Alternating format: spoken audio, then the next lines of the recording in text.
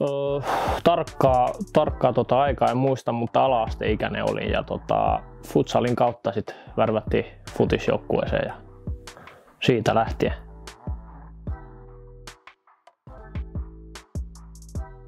Tota, urheilen aika paljon, tykkään pyöreillä ja tennistä ja paadelia harrastanut jonkin aikaa. Että semmoista metsällä kanssa tykkään käydä ja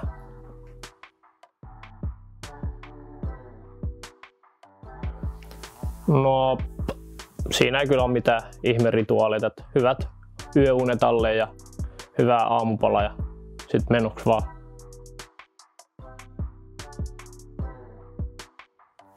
Joukkue hauski.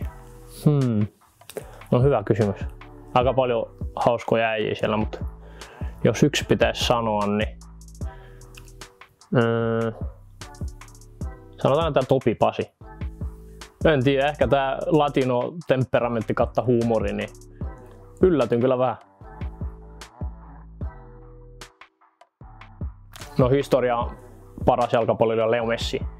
Joo, se on niinku, ei ole sen parempaa ollut eikä tule olemaan varmaan.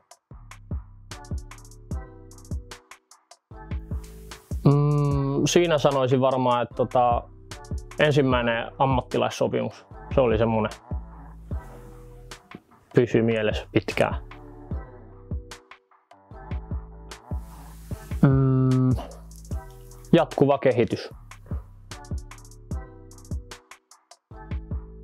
Kissa. Se on selvä vasta. En tiedä. Jotenkin hieno, rento ja siisti eläin. Vähän niin kuin minä.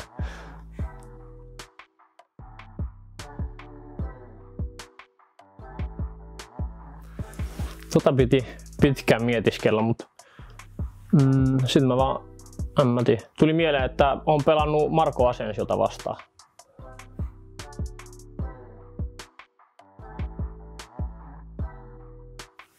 Jaa, pitää kukolta varmaan kysyä. Kiitos. Kiitos.